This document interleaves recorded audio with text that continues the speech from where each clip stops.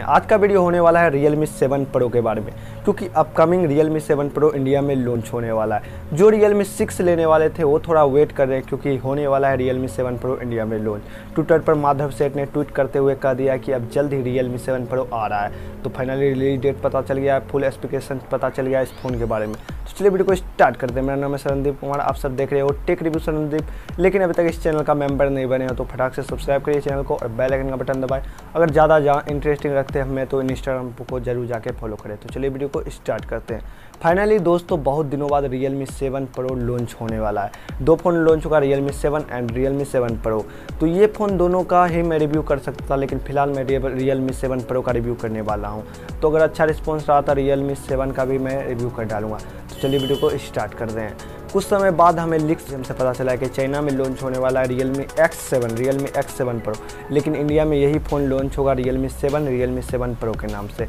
तो अगर मैं इसके डिज़ाइन से बात करूँ तो आपको डिज़ाइन काफ़ी अच्छा देखने को मिल जाता है। ग्लास बैक में आपको डिज़ाइन देखने को मिल जाता है। क्वाड कैमरा का सेटअप भी देखने को मिल जाता है पीछे। में अगर डिस्प्ले से बात करो तो 6.5 इंच या 6.6 इंच का आपको full H D plus display देखने को मिल जाता है, जो कोई सुपर एमोलेड पैनल होगा। सैमसंग का डिस्प्ले तो काफ़ी अच्छा डिस्प्ले रहने वाला है। एच डी आर टेन को सपोर्ट करता है आपको पंचोल कैमरा के साथ ये फ़ोन देखने को मिल जाता है, जिसमें आपको 90 हर्ट्ज का रिफ्रेशिंग रेट देखने को मिल जाता है, जो कि अच्छा खासा गेमिंग में आपको मदद कर देगा।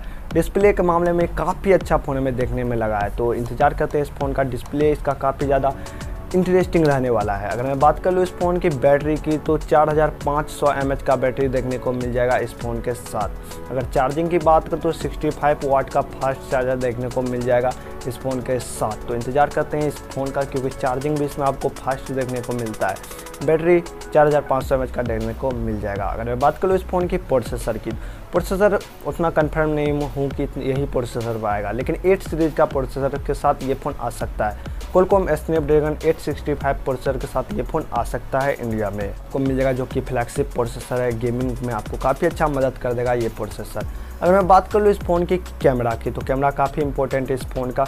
अगर रियर कैमरा की बात करूँ तो आपको देखने को मिलता है प्राइमरी कैमरा 64 मेगापिक्सल का।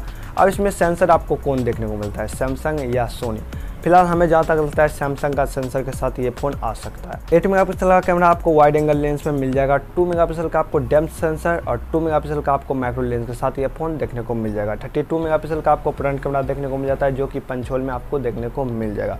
कैमरा के मामले में काफ़ी अच्छा खासा कैमरा आपको देखने को मिल जाता है इस फ़ोन के साथ। अगर मैं बात करूँ इस फ़ोन की सेंसर की तो फिंगरप्रिंट सेंसर आपको इन डिस्प्ले देखने को मिल जाएगा और इसमें आपको फेस अनलॉक देखने को मिल जाता है, ब्लूटूथ का सपोर्ट देखने को मिल जाता है, वाईफाई का सपोर्ट देखने को मिल जाता है इस फ़ोन के साथ। थ्री पॉइंट फाइव का जैक देखने को मिल जाता है एडियो जैक, और आपको इसमें देखने को मिल जाता है टाइप सी। सॉफ्टवेयर की बात करो तो आपको Android ten Realme U के साथ ये फ़ोन देखने को मिल जाता है। अगर ये स्टोरेज और रैम की बात करो तो आपको सिक्स जी का RAM and one twenty eight G B storage के साथ ये फ़ोन इंडिया में लॉन्च हो जाएगा। प्राइस की बात करो तो पच्चीस हज़ार के अंदर में इस फ़ोन का प्राइस रहेगा ट्वेंटी फाइव थाउज़ेंड के अंदर में। रिलीज़ डेट की बात करो तो तीन सितंबर को ये फ़ोन फाइनली इंडिया में लॉन्च होने वाला है। तीन सितंबर में फाइनली लॉन्च हो जाएगा इंडिया में फ़ोन तो ये कुछ रिव्यू निकल गया था रियल मी सेवन प्रो के बारे में। अगर वीडियो पसंद आए तो लाइक करेगा चैनल को ज़रूर सब्सक्राइब करेगा तब तक वीडियो को यहीं पर समाप्त करते हैं। अगर कोई भी इंक्वायरी हो मेरे बारे में तो कमेंट कर दीजिएगा इस वीडियो के नीचे में। चलिए वीडियो को समाप्त करते हैं।